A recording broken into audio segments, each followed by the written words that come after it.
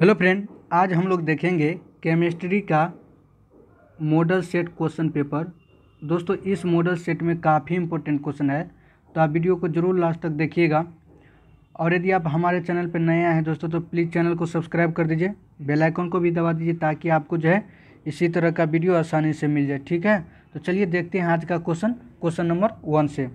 दोस्तों, यहाँ पे क्वेश्चन नंबर वन का रहेगी कौन सी सांद्रता इकाई ताप से स्वतंत्र होती है? यानी टेम्परेचर पर डिपेंड नहीं करती है टेम्परेचर से इंडिपेंडेंट होती है। तो यहाँ पे जो है सही आंसर हो जाएगा दोस्तों मोललता। मोललता जो है मोल पर केजी यानी मोल पर मास होता है और मास जो है दोस्तों द्रव्यमान जो है वो टेम्परेचर पर डिपेंड नहीं करता है। तो यहाँ पे जो है सही आंसर हो जाएगा मोललता। और बाकी जो मोलरता है, नॉर्मलता है भार आयतन है, इस सभी में मोल पर वॉल्यूम यानी आयतन होता है और आयतन जो है टेम्परेचर पर डिपेंड करता है, ठीक है? तो यहाँ पे जो है सही आंसर हो जाएगा मोललता। ये जो है ताप पर डिपेंड नहीं करता है, यानी ताप से स्वतंत्र होता है। अगला क्वेश्चन देखते हैं। विद्युत अपघटन में ऑक्सीकरण एवं अपचयन क्रम से होता है। तो ऑक्सीकरण दोस्तों एनोड पर होता है और अपचयन जो है कैथोड पर होता है। यानी ऑक्सीजन इलेक्ट्रोलाइसिस में ऑक्सीडेशन जो होता है, एनोड पर होता है और रिडक्शन जो होता है, वो कैथोड पर होता है। तो दो का जो है सही आंसर हो जाएगा यहाँ पर, ए, एनोड व कैथोड। अगला क्वेश्चन है कि क्रिस्टल होते हैं तो क्रिस्टल दोस्तों सात प्रकार का होता है। तो यहाँ पे जो है सही आंसर हो जाएगा सी सात प्रकार के। अगला क्वेश्चन है कि कॉपर निष्कर्षण की प्रगलन क्रिया में निर्मित धातुमल का रासायनिक संगठन होता है।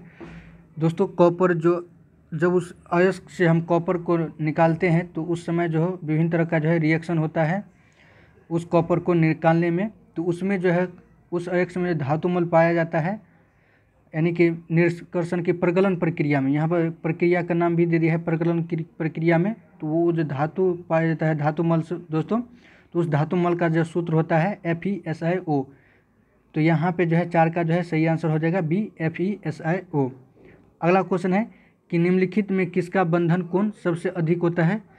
इन सभी में दोस्तों बी एफ़ थ्री जो है ट्रायगोनल प्लेनर स्ट्रक्चर दिखाता है। वन ट्वेंटी डिग्री जो है, ये एंगल बनाता है। तो इसमें जो है सबसे ज़्यादा बॉन्ड एंगल जो है, बंधन कोण सबसे ज़्यादा बी एफ़ थ्री का होता है। पाँच का तो सही आंसर हो जाएगा C B B F three अगला क्वेश्चन है, हीलियम का सूत्र है। तो हीलियम एक प्रकार के नोबल गैस अक्रिय गैस है दोस्तों। ये फ्री मुक्त अवस्था में पाया जाता है नेचर में, अक्रिय होता है। और इसका सूत्र होता है एच ई एच ई तो सिक्स का जो है सही आंसर हो जाएगा ए एच ई अगला क्वेश्चन है कि नाइट्रोजन और ऑक्सीजन है तो नाइट्रोजन और ऑक्सीजन अधातु है दोस्तों, और ये गैस भी है तो सात का जो है सही आंसर हो जाएगा बी, अधातु।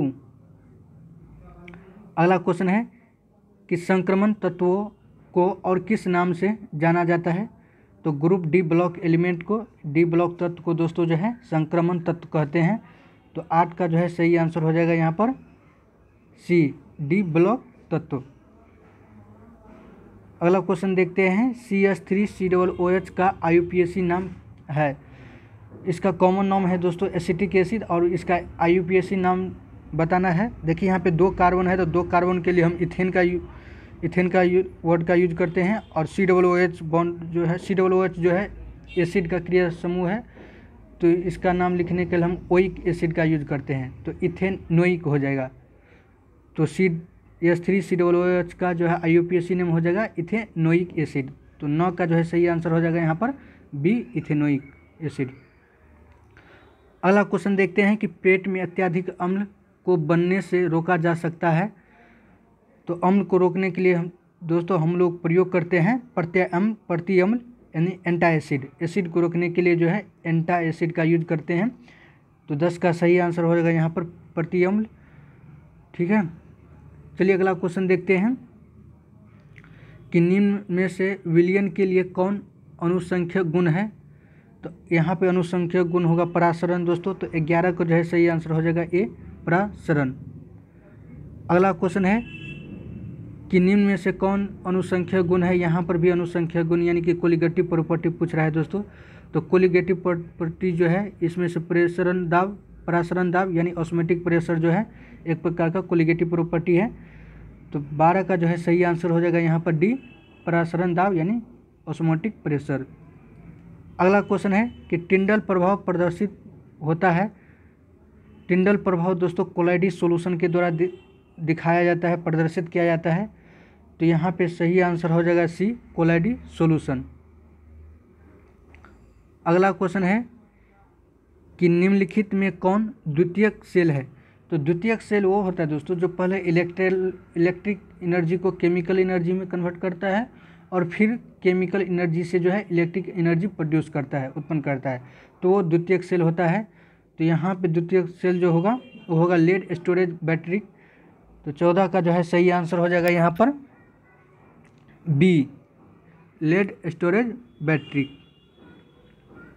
अगला क्वेश्चन देखते हैं कि प्रथम कोटि की अभिक्रिया के लिए वेग स्थिरांक की इकाई होती है तो यहाँ पर प्रथम कोटि के लिए जो है, वेग स्थिरांक रेट कांस्टेंट की इकाई होगी पर सेकेंड पर टाइम तो पंद्रह का जो है सही आंसर हो जाएगा ए पर टाइम। दोस्तों, आप इनको निकालने के लिए एक फार्मूला भी देख सकते हैं, जैसे कि एम जो है, यहाँ पर होगा माइनस एन प्लस वन, ठीक है, और यहाँ पर टी पर माइनस है। एम जो है दोस्तों, मोलरता का दिखाता है, यानी मोल पर लीटर को। और फ़र्स्ट ऑर्डर रिएक्शन के लिए अगर एन का मान वन देंगे प्रथम कोटि के लिए तो ये हो जाएगा ज़ीरो। यानी एम के पावर ज़ीरो तक ये हो जाएगा एक और केवल यहाँ पर बचेगा पर टी अगर सेकेंड ऑर्डर के लिए पूछेगा तो एन के वैल्यू अगर हम दो लिख देंगे तो आप इस तरह से जो है इसका यूनिट आसानी से निकाल सकते हैं। तो प्रथम कोटि के लिए जो होगा रेट कांस्टेंट का मान जो होगा, वेग स्थान की इकाई जो होगा, यहाँ पर पर टाइम होगा, पंद्रह का ए अगला क्वेश्चन देखते हैं। कि निम्नलिखित में कौन? कोलाइडी घोल नहीं है। तो कोलाइडी घोल दोस्तों, यहाँ पर जल जो है नहीं है। एक ट्रू सॉल्यूशन है। वास्तविक जो है सॉल्यूशन है जल। और जितना भी दिया है, ये सारा का सारा जो है कोलाइडी सॉल्यूशन है। तो सोलह का जो है सही आंसर हो जाएगा ए, जल। अगला क्वेश्चन देखते हैं कि अयस्क में उपस्थित अशुद्धि को कहते हैं। तो अयस्क में अयस्क में उपस्थित अशुद्धि को गैंग कहते हैं दोस्तों। तो सत्रह का जो है सही आंसर होगा यहाँ पर बी, गैंग। अगला क्वेश्चन देखते हैं कि निम्न में से किसमें टिंडल प्रभाव नहीं पाया जाता है? तो टिंडल प्रभाव चीनी का घोल जो है, एक प्रकार का ट्रू सॉल्यूशन है, वास्तविक सॉल्यूशन है तो इसमें जो है टिंडल प्रभाव नहीं पाया जाता है। तो अट्ठारह का जो है सही आंसर हो जाएगा ए, चीनी के घोल में। अगला क्वेश्चन देखते हैं कि खनिज जिससे धातु का निष्कर्षण होता है, कहा जाता है तो ऐसा खनिज जिससे धातु निकाला जाता है दोस्तों तो उसको जो है अयस्क बोलते हैं। तो उन्नीस का जो है सही आंसर हो जाएगा ए अयस्क अगला क्वेश्चन देखते हैं कि निम्नलिखित में से कौन संक्रमण धातु का आयतन अनुचुंबकीय अनुचुंबकीय है? तो यहाँ पे अनुचुंबकीय जो है जिंक आयन होगा तो बीस का जो है सही आंसर हो जाएगा डी, अनुचुंबकीय। अगला क्वेश्चन है निम्न में किसका जो है कौन सा अम्ल पाया जाता है? सिरका में सॉरी सिरका में कौन सा अम्ल पाया जाता है? तो सिरका में जो है दोस्तों, एसिटिक एसिड, इथेनोइक एसिड पाया जाता है, जिसका फॉर्मूला होता है C S three C double O H तो यहाँ पे जो है, इक्कीस में जो है, सही आंसर हो जाएगा बी यानी सिरका में जो है, एसिटिक एसिड पाया जाता है। अगला क्वेश्चन देखते हैं। के फोर एफिशियन का हॉल सिक्स में आयरन का जो यहाँ पर प्रसंकरण क्या हो, यानी हाइब्रिडाइजेशन कितना है दोस्तों? तो यहाँ पे जो आयरन का हाइब्रिडाइजेशन हो जाएगा संकरण हो जाएगा ए यानी D S P two D S P two यहाँ पर जो है आयरन का हाइब्रिडाइजेशन हो जाएगा। अगला क्वेश्चन देखते हैं। ग्रिगनार्ड अभिकर्मक तैयार करने में घोलक प्रयुक्त होता है। तो ग्रिगनार्ड रिएजेंट को तैयार करने में कौन सा सोल्यूशन का यूज़ करते हैं दोस्तों? तो इसमें जो हम लोग यूज़ करते हैं, वो इथर का यूज़ करते हैं। तो ट्वेंटी थ्री का जो है सही आंसर हो जाएगा यहाँ पर ए इथर अगला क्वेश्चन है। कि सांद्र S two S O four से निर्जलीकरण के निम्नलिखित निर्जलीकरण का निम्नलिखित अल्कोहल में कौन दो टू ब्यूटिन देता है? तो यहाँ पर जो जब दोस्तों concentrated S two S O four का निर्जलीकरण करते हैं अल्कोहल में तो टू ब्यूटेन देता है ब्यूटेन टू ऑल तो चौबीस का जो है सही आंसर हो जाएगा यहाँ पर सी ब्यूटेन टू ऑल अगला क्वेश्चन देखते हैं। कि कैल्शियम फॉर्मेट का शुष्क सरवन देता है। तो कैल्शियम फॉर्मेट का शुष्क सरवन जो देता है, वो देता है फॉर्मल्डिहाइड, यानी एस सी एच ओ। तो पच्चीस का जो है सही आंसर हो जाएगा ए, एच सी एच ओ। अगला क्वेश्चन है कि आइसोटोनिक विलियन में, आइसोटोनिक विलियन में वे है जिन, जिनके बराबर होते हैं। तो आइसोटोनिक सॉल्यूशन में दोस्तों परासरिक जो होता है वो सेम रहता है तो छब्बीस का जो है सही आंसर होगा यहाँ पर ए परासरिक अगला क्वेश्चन है कि सी एच आई थ्री में एंटीसेप्टिक क्रिया का कारण है। तो सी एच आई थ्री दोस्तों एक प्रकार के एंटीसेप्टिक का यूज़ करते हैं, जो माइक्रो माइक्रोबियल सूक्ष्म जीवाणु के ग्रोथ को रोकता है। तो उसमें जो है मेन कंपोनेंट के रूप में कार्य करता है, वो होता है iodine E C H I three से जो है आयोडीन मुक्त होता है। जो माइक्रोबियल यानी एंटीसेप्टिक प्रॉपर्टी का काम करता है। तो सत्ताईस का जो है सही आंसर होगा यहाँ पर बी आयोडीन मुक्त होकर निकलना। अगला क्वेश्चन है कि निम्नलिखित में कौन सा प्रथम पंक्ति पंक्ति का संक्रमण तत्व नहीं है? फ़र्स्ट ट्रांजिशन मेटल नहीं है, इसमें से देखिए दोस्तों मैग्नीशियम जो है सेकेंड ग्रुप में आता है और बाकी सभी जो है प्रथम पंक्ति का जो है संक्रमण तत्व है। फ़र्स्ट ट्रांजिशन एलिमेंट में सभी पाया जाता है, लेकिन मैग्नीशियम है दोस्तों, ये ग्रुप टू का एलिमेंट है तो यहाँ पर ग्रुप टू जो है, सॉरी, मैग्नीशियम जो है, संक्रमण तत्व नहीं है। तो अट्ठाईस का जो है, सही आंसर हो जाएगा यहाँ पर सी, मैग्नीशियम। अगला क्वेश्चन देखते हैं कि ग्लूकोज है तो ग्लूकोज है दोस्तों, एक हेक्सो शुगर है, ठीक है, जिसका फॉर्मूला होता है C six S twelve O six तो यहाँ पर जो है, उनतीस का उनतीस का, सॉरी, ग्लूकोज का जो है सही आंसर हो जाएगा यहाँ पर डी हेक्सो शुगर अगला क्वेश्चन देखते हैं कि पैरासीटामोल है तो पैरासीटामोल दोस्तों प्रति हारी है पीराहारी है, ठीक है? तो तीस का जो है सही आंसर होगा यहाँ पर ए पीराहारी जिसका यूज़ हम दोस्तों बुखार के समय जो है इसका यूज़ करते हैं बुखार में। एक प्रकार का पीराहारी है। तो अगला क्वेश्चन देखते हैं एल्किन साइनोइडो के पूर्ण जल अपघटन में उत्पाद बनता है। तो एल्किन साइनाइडो के पूर्ण जल अपघटन में दोस्तों जो उत्पाद बनता है, वो होता है एमीन। तो इकतीस का जो है सही आंसर होगा यहाँ पर ए, एमीन। अगला क्वेश्चन है कि primary degree, primary, secondary and tertiary alcohol में अंतर यानी जाँच, अंतर ज्ञात करते हैं तो किसके द्वारा दोस्तों यहाँ पर ऑक्सीकरण विधि द्वारा लुकास प्रतिजाविक विक्टर मेयर परीक्षण, इनमें से सभी। तो यहाँ पे जो है दोस्तों सभी जो है, इनमें से सभी इसका जो है सही आंसर होगा। इस सभी के द्वारा हम प्राइमरी और सेकेंडरी और टर्सरी अल्कोहल में जो है, इसके बीच में अंतर को पता लगा सकते हैं।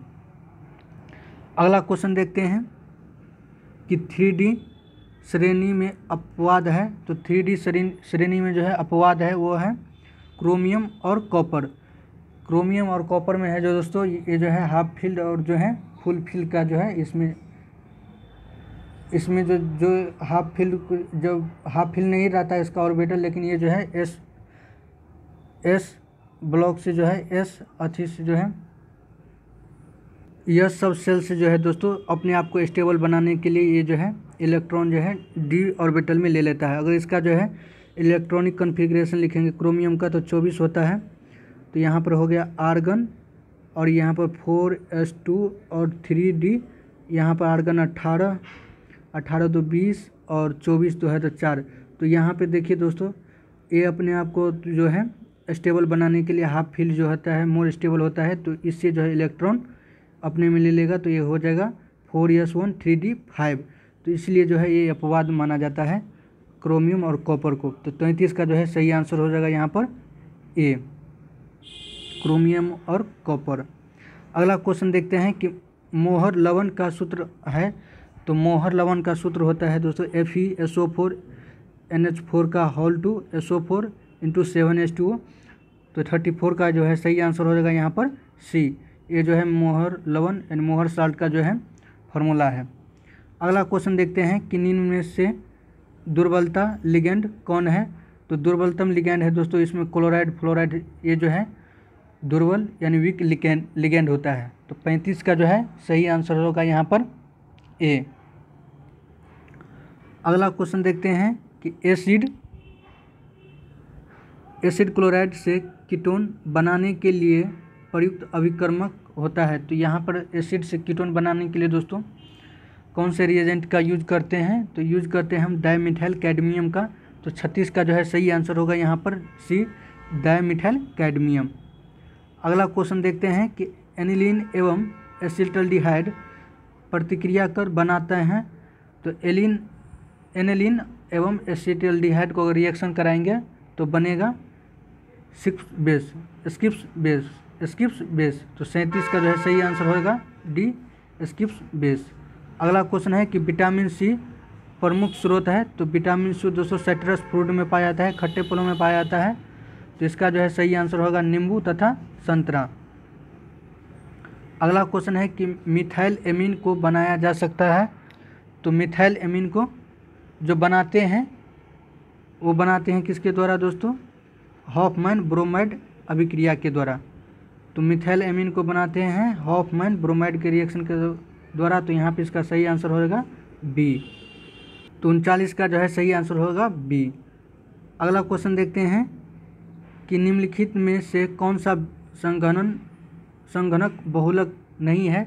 तो संगणक बहुलक वो होता है जिसमें दोस्तों अगर दो ग्रुप को अगर रिएक्शन कराएँगे तो बाय प्रोडक्ट में वाटर या तो कोई गैस निकलता है तो संगणक बहुलक होता है। लेकिन इसमें पूछ रहा है कि संगणक बहुलक नहीं है तो यहाँ पे इसका सही आंसर होगा डी डेक्रॉन जो है, संगणक बहुलक नहीं है।